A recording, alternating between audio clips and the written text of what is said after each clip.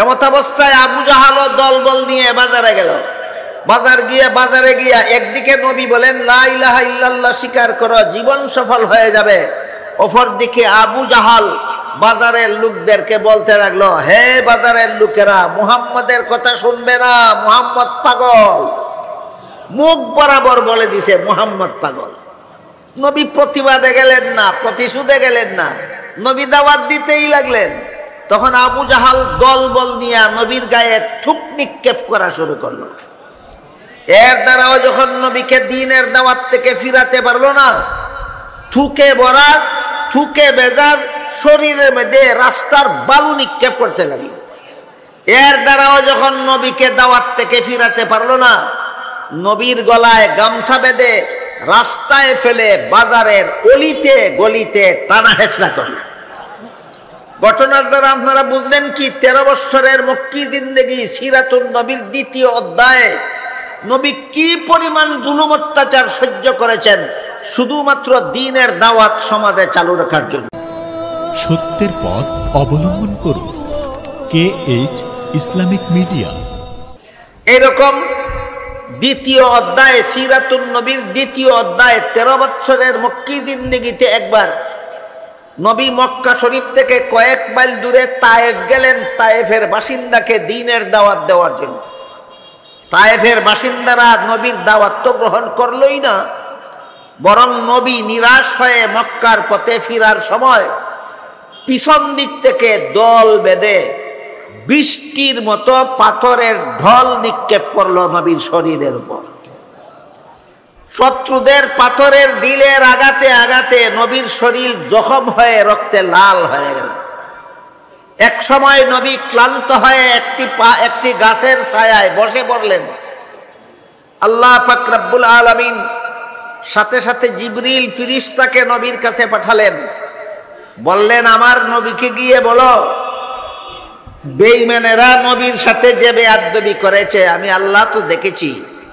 তিনি যদি প্রতিশোধ চান, তাহলে তাইফের দুই প্রান্তের দুই পাহাড়কে একত্র করে আমি সমস্ত তাইফবাসীকে নিষ্পেষিত করে দেব। জিবরিল ফিরিস্তা আল্লাহর পক্ষ থেকে আসলেন, নবীকে আল্লাহর সংবাদ দিলেন, আপনি যদি প্রতিশোধ চান, তাহলে আল্লাহ তাইফের দুই প্রান্তের দুই পাহাড়কে একত্র করে তায়েববাসীকে নিষ্পেষিত করে দেবেন। জবাবে নবী বলেন আল্লাহ মাহদি কৌমি ফাইন্নাহুম হে আল্লাহ, এদেরকে ধ্বংস করে দিবেন না, এদেরকে হেদায়েত দান করুন। এইটাই নবীর চরিত্র আর ওইটাই আবুল আহাবদের চরিত্র। যারা মার খাইয়াও হেদায়েতের দোয়া করে, এরা নবীর আদর্শের অনুসারী। যারা মার খাইয়াও হেদায়েতে, যে মারে তার জন্য হেদায়েতের দোয়া করে। তারা নবীর আদর্শে আদর্শবান, তারা সত্যিকারের নায়েবে নবী, ওয়ারাসাতুল আম্বিয়া। আর দিনের দাওয়াতের কারণে যারা মারে, ওই যুগে তারা ছিল নবীর দুশ্মন, এই যুগে এরা হবে নবীর উম্মতের দুশ্মন। দুশ্মনের জন্য নবী ধ্বংসের বদুয়া না করে হেদায়েতের দোয়া করেছেন। আমরাও নবীর দাওয়াতের আয়োজন করলে যারা দুশ্মনী করে, আমরা নবীর খাঁটি ওয়ারিস হতে চাই, নবীর উত্তরসূরি হতে চাই, নবীর আদর্শে আদর্শবান হতে চাই, তাইফের ঘটনাকে স্মরণ করে আমরাও যারা বিরুদ্ধাচরণ করে, যারা সিরাতুন নবীর আলোচনা বন্ধ করতে চায়, আমরা আল্লাহর কাছে এদের জন্য হেদায়েতের দোয়া করি। এটা আমাদের নবীর শিক্ষা, নবীর আদর্শ। গেল চল্লিশ বৎসরের জীবন ইতিহাস।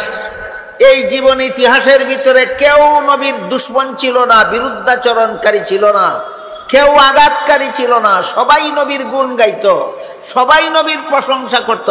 নবীর জন্মদিনে নবীর বড় দুশ্মন আবুল আহাব আনন্দিত হয়ে বান্দি আজাদ করে দিয়েছিল।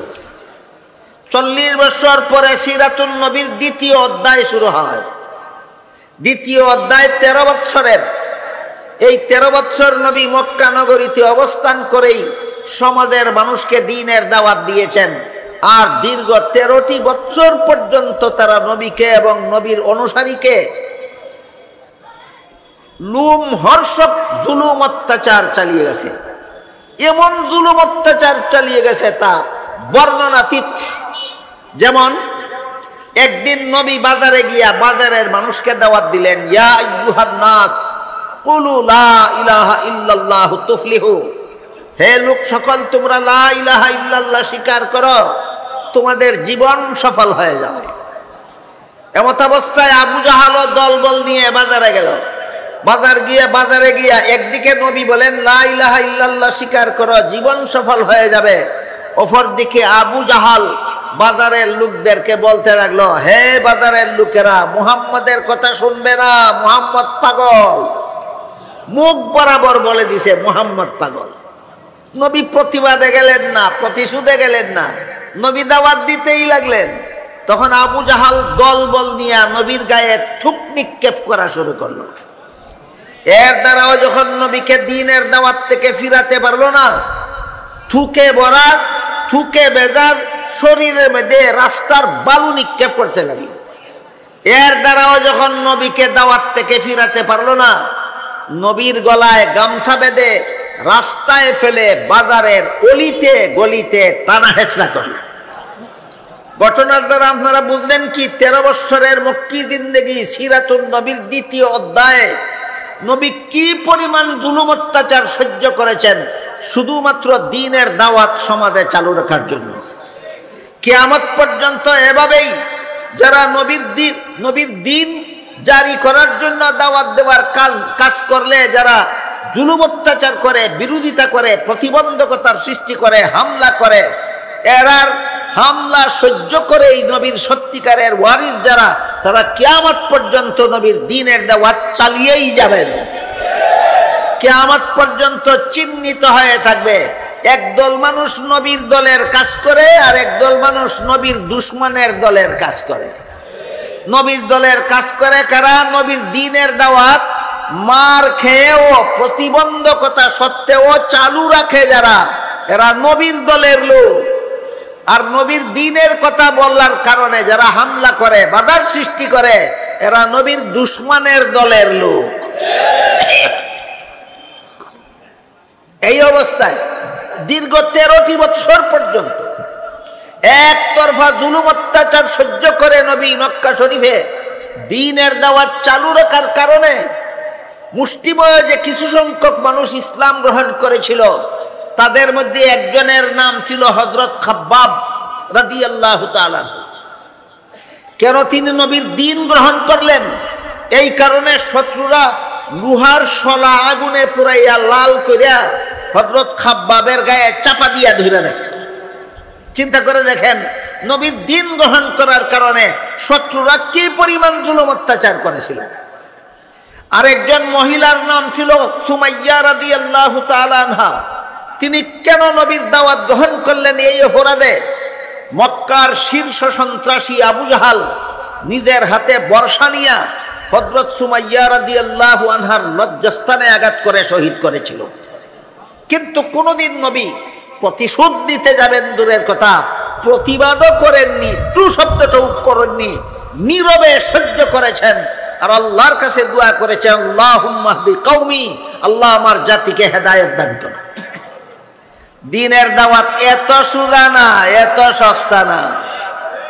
এইভাবে মার খেতে হয়, তারপরে ধৈর্য ধারণ করতে হয়। আর যারা মারে, এমন শত্রুদের জন্য আল্লাহর কাছে হেদায়েতের দোয়া করতে হয়। যেমন তেমন ধৈর্যের কথা নয়। এটা নবীর আদর্শ। কেমন পর্যন্ত নবীর আদর্শবাদী, হকানি ওলামায় কেরাম এই অবস্থাতেই নবীর ওয়ারিসের দায়িত্ব পালন করে যাবেন।